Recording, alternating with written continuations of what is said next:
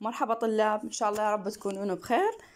آه، المحاضرة الثانية لمادة ال general physiology أنا سجلت آه، هذا الفيديو فقط آه، الأشياء المهمة والمختصرة بمحاضرة رقم اثنين.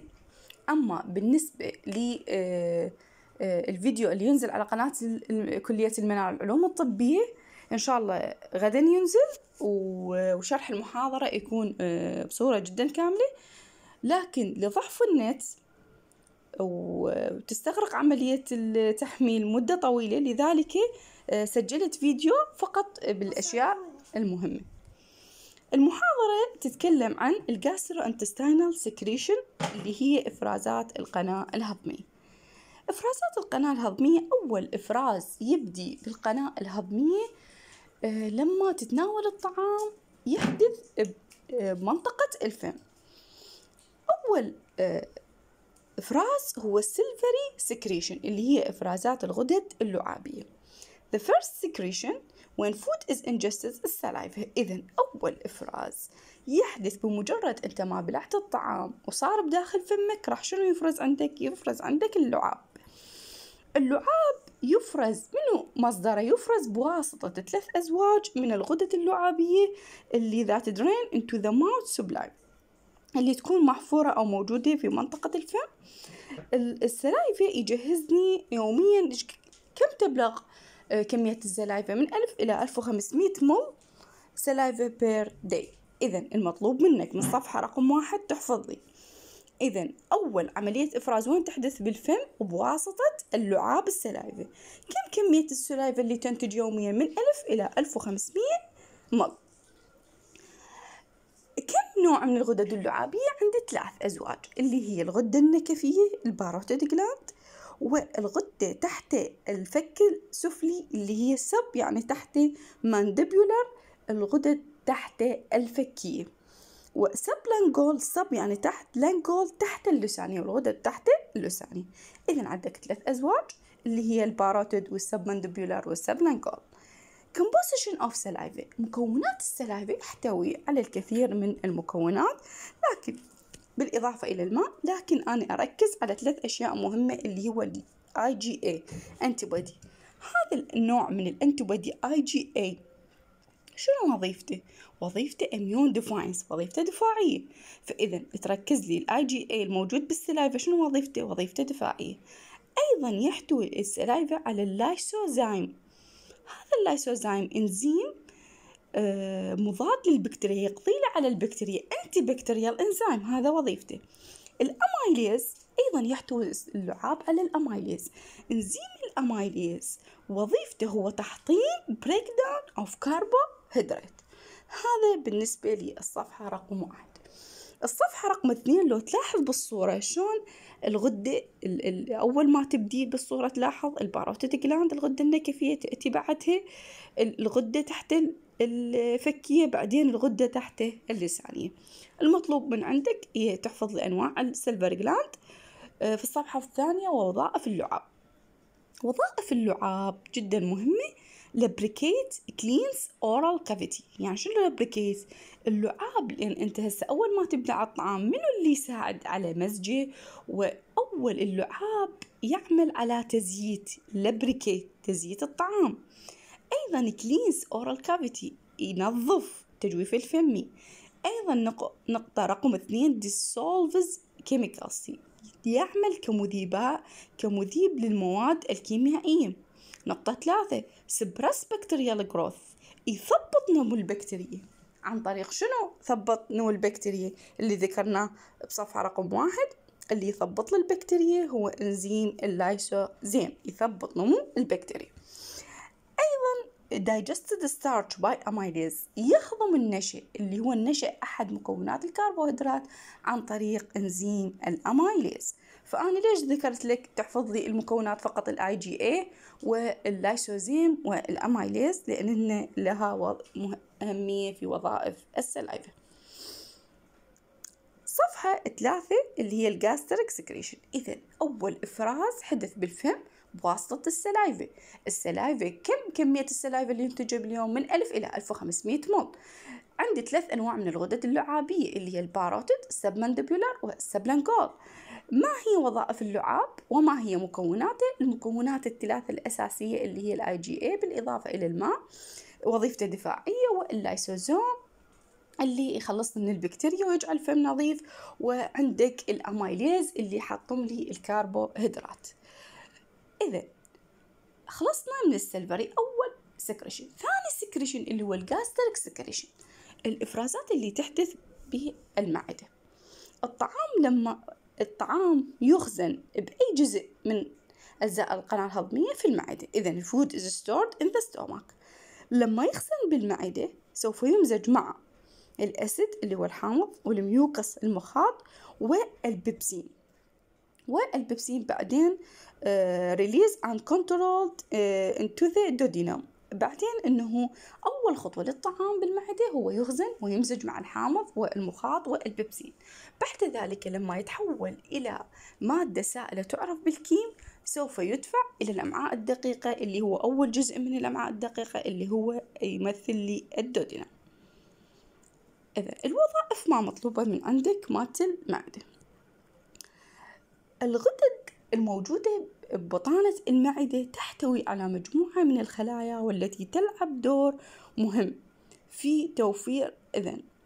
gastric gland contains cells that secrete different products that form gastric juice إذن الغدد الموجودة في منطقة المعدة تفرز لي عدد من الخلايا. شنو هاي وظيفتها الست خلايا؟ وظيفتها حتى تكون لي السائل أو العصارة المعدية ال gastric juice هاي تحفظ لي إياها جدا مهمة كل نوع من الخلية ماذا تفرز.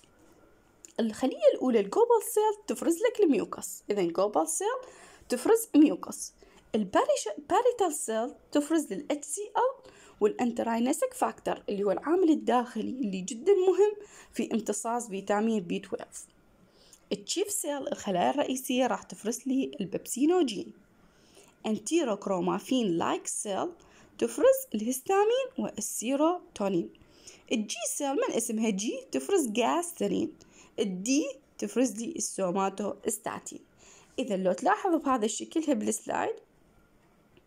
عندك هذه هنا آه عندك ال mucus cell وال parietal cell هاي لونها أخضر. اللي وظيفتها منو؟ اللي يفرز لي ال HCl هي ال parietal cell وتفرز لي ال HCl وال intrinsic factor enterochromaffin-like cell اللي هي مختصرة ECL C اللي هي رقم أربعة. enterochromaffin enterochromaffin-like cell مختصرها EC L تفرز لي الهستامين وال chief cell تفرز لي ال pepsinogen. هاي جدا مهمة الخلايا. هذه اللي بعدها تريد تحفظ هذا ال slide أو ال slide اللي قبله. إذا بعد ما ذكرنا أنواع الخلايا الموجودة بالغدد المعدية ووظائفها أهم مكون الموجود في المعدة اللي هو ال HCl ال HCl شنو وظيفته بالمعدة؟ فذلك لا دائما يقول لك إنه هل هي المعدة وسط حامضي أم قاعدي دائما يقول لك وسط حامضي لأن تحتوي على حامض ال HCl وظيفة ال HCl activated pepsinogen into pepsin. إذا أول خطوة وظيفة الحامض. إذا ال HCl بالمعدة يحول لي إنزيم البيبسينوجين من الشكل الغير فعال إلى الشكل الفعال البيبسين البيبسين اللي يلعب دور مهم في هضم البروتين وتحويله إلى بيبتون. لكن بيه درجة بي اتش يعمل ال HCl هاي تنتبهوا لي. من اثنين إلى ثلاثة ونص يعمل ال HCl إذا أول خطوة حفز لي البيبسينوجين من الشكل الغير فعال إلى الشكل الفعال اللي هو البيبسين أيضا يوفر لي optimal pH لعمل البيبسين إذا ال HCl أيضا إنه حتى يعمل البيبسين سوف يوفر لي اتش مثالي لعمل البيبسين اللي هو بحدود اثنين إلى ثلاثة ونص. هاي الثالثة ما أريتها. أيضا يعمل على قتل البكتيريا الموجودة بالطعام ويساعد على امتصاص الحديد والكالسيوم وأيضا يساعد على إفرازات promote يعني يحفز أو يشجع من إفرازات البنكرياس والأمعاء الدقيقة وإفرازات الصفراء. هذه فيما يخص وظائف ال HCl جدا مهمة. بالنسبة إلى ال mucus وال intrinsic factor ال mucus والعامل الداخلي اللي يفرز من الخلايا الموجودة في المعدة ما هي وظائفه؟ ال mucus جدا مهم soluble and insoluble mucus are secreted by cells of the stomach. الخلايا الموجودة بالمعدة سوف تفرز لي. مخاط من نوع سائل ومن نوع غير insoluble غير سائل. ال soluble mucus شنو عمله؟ mix with the content of the stomach and help to lubricate chyme. إذن المخاط السائل سوف يمزج مع محتويات المعدة. من يمزج مع محتويات المعدة؟ يساعد على تزييت ال chyme. إذا ال chyme اللي هو شنو؟ المواد الغذائية اللي انهضمت بالمعدة حتى أساعد على آه، سهولة أو آه، تزييته بحيث تمر بسهولة من المعدة إلى الأمعاء الدقيقة. فشنو هنا راح تمزج مع ال soluble mucus mucus. أما بالنسبة لل insoluble mucus ال mucus المخاط الغير آه، سائل أو الصلب وظيفته هو protective barrier يعني هنا راح يتكون نوع من المخاط الصلب. شلون يعمل كحاجز ضد الحموضة العالية لمحتويات المعدة؟ في حال إذا ارتفعت حموضة المعدة راح يعمل الميوكس المخاط الصلب على إنه شنو كحاجز يمنع آه، من حموضة المعدة العالية. هذه هي وظائف ال mucus اللي هي إذا كان سائل هو يساعد على تزييت ال chyme حتى ينتقل من المعدة إلى الأمعاء الدقيقة وإذا كان صلب راح يكون يعمل كعمل الحاجز آه كعمل آه الحاجز ضد حموضة المعدة العالية.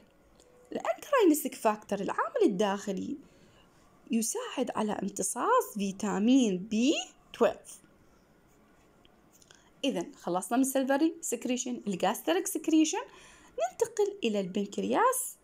بنكرياس اللي هي إفرازات البنكرياس اللي هي ال pancreatic secretion Pancreatic juice contain enzymes that play important role in digestion. طبعا العصارة البنكرياسية تحتوي على الإنزيمات التي تلعب دور مهم في عملية الهضم. طلاب بس أنوه إلى شغلة. أنا ما أنطيك تكوين الغدد اللعابية منين تتكون والقنوات ونوع النسيج ولا أعطيك البنكرياس وجزر لانهنجرهانز وموقع لين هذا أنسجة أنا آخذ فقط الجزء الفسلجي اللي يخص آه، البنكرياس أو الغدة الصفراء والأمعاء الدقيقة. ما أدخل بطبقاتها أو تكوينها. هذه هذه مواضيع تخص الأنسجة نكمل. البنكرياس يلعب دور مهم بعملية الهضم والإفراز منو اللي يسيطر على عملية الإفراز؟ طبعا عملية الإفراز اللي تم من قبل البنكرياس تتم تحت سيطرة هرمونية أهم الهرمونات اللي تلعب دور مهم في السيطرة على إفراز البنكرياس إنه two هرمون جدا مهمات اللي هو هرمون السكريتين وهرمون كولي سايتوكينين كولي سايتوكينين سي سي كي إذا عندك اثنين هرمونات هي اللي تسيطر على عملية آه، إفراز البنكرياس اللي هي ال secretin وال CCK cholecystokinin بالنسبة إلى وظائفه هنا آه، يعتبر هو mixed آه، gland غدة مزدوجة. يعني تعمل عمل تكون تعمل عمل غدة خارجية الإفراز وغدة داخلية الإفراز. فيمتلك البنكرياس وظيفتين اللي هي endocrine function و exocrine function. ال endocrine function الوظيفة الداخلية هنا من أذكر كلمة endocrine يعني بدون قناة. endocrine وظيفته كغدة صماء يعني غدة صماء ما تحتوي على قنوات يفرز الإنسولين والجلوكاجون من جزيرات من جزر لانجرهانز إذا الوظيفة الداخلية هي شنو؟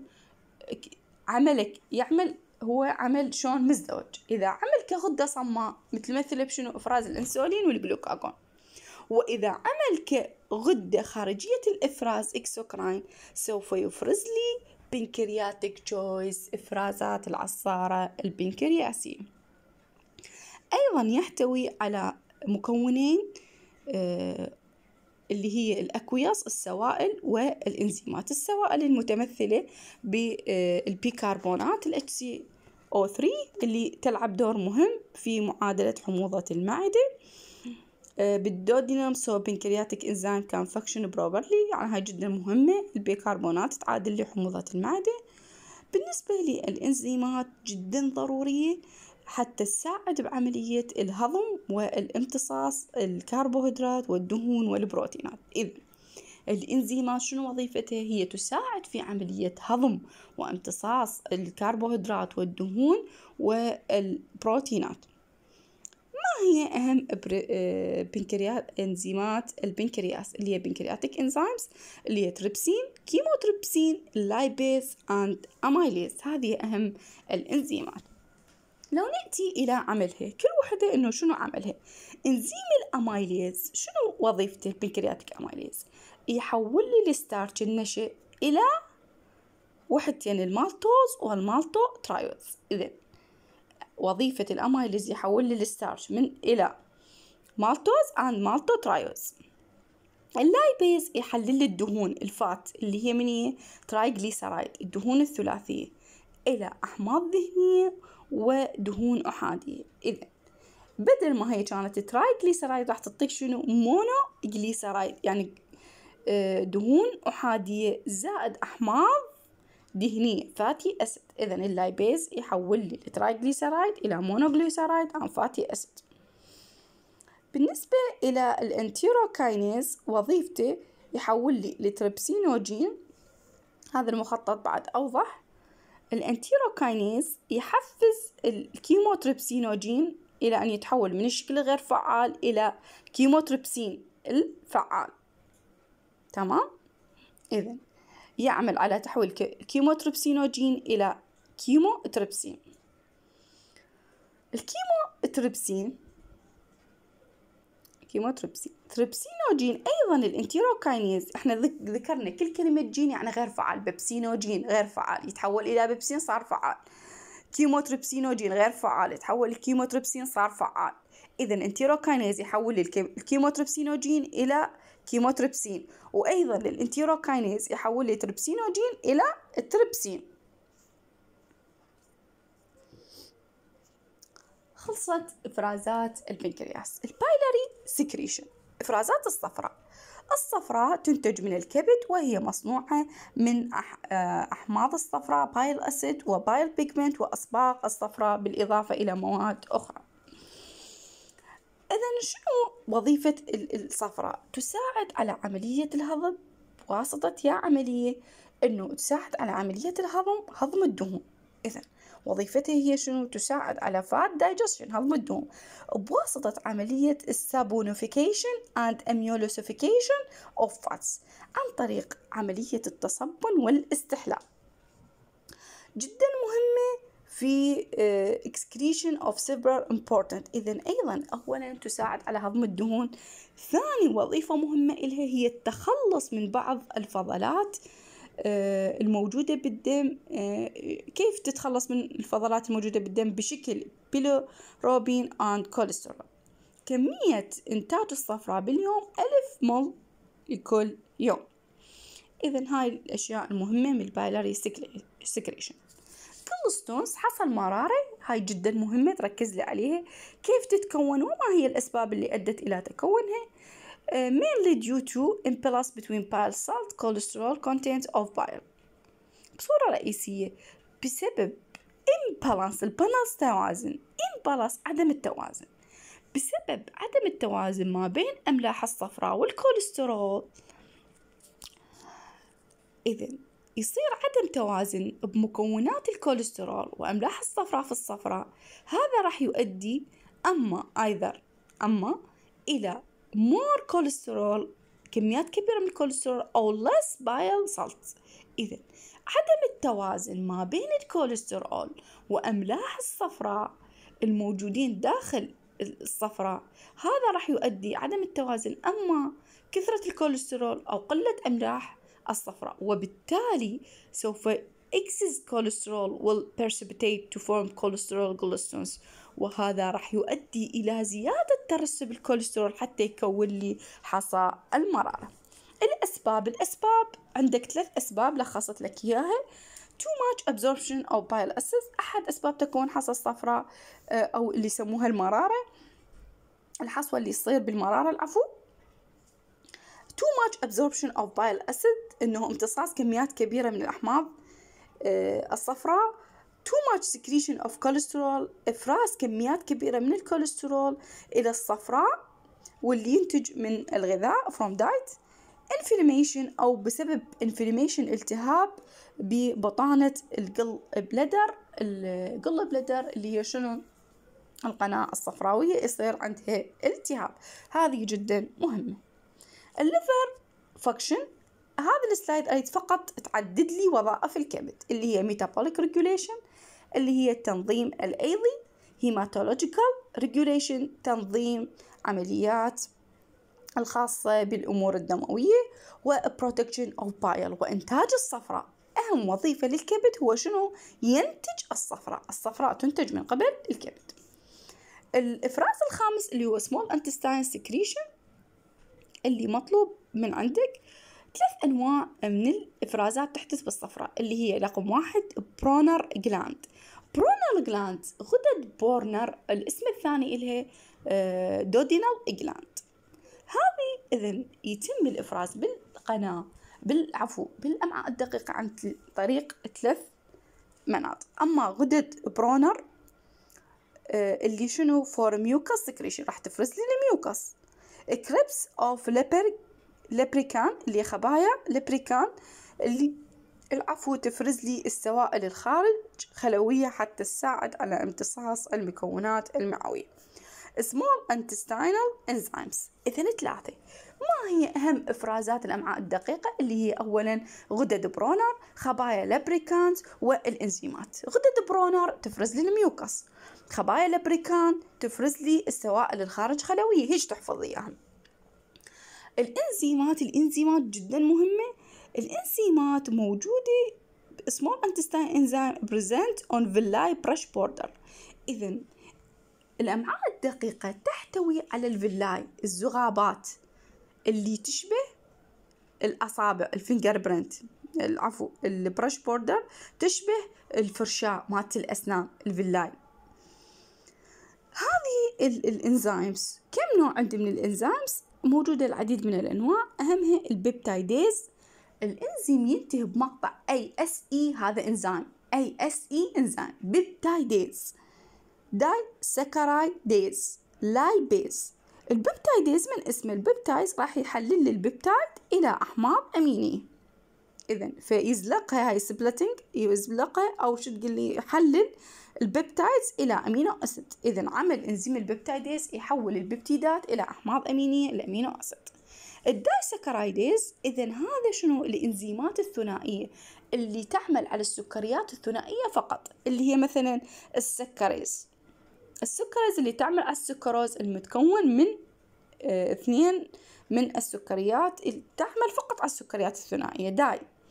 اللي هي ال sucrase مثل يا إنزيم ال sucrase ال maltase ال isomaltase and ال lactase. ال lipase يعمل على تحلل الدهون يحول الدهون إلى جليسرول و fatty acid اللي هي الأحماض الدهنية. ما هي وظائف اللي تحدث بالأمعاء الدقيقة؟ Protective effect by mucus الأمعاء الدقيقة لها وظيفة آه، تأثير حماية. إذا تقوم بالحماية عن طريق ال mucus. أيضا تقوم بعملية الهضم عن طريق الإنزيمات مثل ما ذكرنا اللي هي إنزيم ال peptidase والسكروز اللي هي من ضمن ال disaccharidase. ال sucrase العفو هاي ال spell مالتها خطأ مو السكروز sucrase A S E وال lipase بالإضافة إلى ال dilution بعملية التخفيف. هذه لو نلاحظ الإنزيمات ال dipeptidase. ال dipeptides اللي هي البيبتيدات تتحول إلى الأحماض الأمينية عن طريق ال dipeptidase. عندك المالتوز هو سكر ثنائي. عن طريق ال maltase راح يتحول إلى اثنين من السكريات الأحادية اللي هو جلوكوز زائد جلوكوز. اللاكتوز هو سكر ثنائي. عن طريق إنزيم ال lactase سوف يتحول إلى جلوكوز زائد جالاكتوز. السكروز سكر ثنائي. عن طريق إنزيم ال sucrase راح يتحول إلى سكريات أحادية آه، اللي هي جلوكوز and فركتوز. لأن تعرفون السكروز مكون من جلوكوز زائد فركتوز ينطيني سكروز. بالنسبة إلى ال lipase يحول لي السك... الدهون الثنائية أو ال triglyceride di and monoglyceride ذاكر أو تريد تقول triglyceride اللي تختصرها الدهون الثلاثية إلى fatty acid أحماض دهنية وجليسرول. هذه هي الإنزيمات تحفظها عملها مهم. وأخيرا قبل ما قبل ال slide الأخير ال large intestine secretion. هنا تختلف الأمعاء الغليظة عن البقية إنها ما تحتوي إنزيمات وبالتالي لا تحدث فيها عملية هضم. فإذا جبت لك بالصح والخطأ إنه عملية الهضم تحدث بالأمعاء الغليظة. لا ملاحظة لأن هي ما تحتوي أنزيمات فبالتالي ما تحدث فيها عملية الهضم. لكن تحتوي على بعض الإفرازات اللي هي ال alkaline secretion أهم الإفرازات الموجودة فيها هي ال alkaline secretion حتى يعدل الحموضة اللي هي المنتجة بواسطة البكتيريا المعوية. ال mucus آه، أيضا يحتوي على إفرازات ال mucus اللي تفرز عن طريق الخلايا المخاطية الموجودة بجدار القولون. آه، وظيفة ال mucus هو ال protection الحماية وتزييت ال fecal matter اللي حتى يزيت ويساعد بعملية الخروج. أيضا أنه موجودة بالقولون الأمعاء الغليظة البكتيريا ال normal flora. اللي هي شنو؟ هاي ال normal flora. هاي مو ضارة. تساعد على امتصاص فيتامين B and K absorption vitamin B and K absorption made from يحدث عن طريق البكتيريا الفلورا الموجودة بالقولون. هذا الجدول هو آه، مختصر إلى آه، كم عملية أنه آه، الإفراز ال secretion اليومي. تركز لي فقط. ال salivary glands الغدد اللعابية يعني كم كمية ال saliva باليوم؟ daily water كمية الإفراز ألف وخمسمية. ال stomach ألفين وخمسمية. الصفرة خمسمية. البنكرياس 1500 والأمعاء 1000 فقط هذني اللي ملونتهم ومظللتهم هاي أريدك تحفظهم إذا لو نجمع 1500 لو نجمع التوتال مالتها جينا سكريشن راح يطلع لي 7000 إذا هذا الإفراز عملية آه سبعة آلاف زائد ما هو مهضوم ألفين راح يطلع للتوتال تسعمية. أنا ما أريد هذا فقط تحفظ لي إنه السلايفة ألف وخمسمية المعدة باليوم تفرز ألفين وخمسمية البايل خمسمية البنكرياس ألف وخمسمية والانتستاين elf elf only elf. Thank you for listening.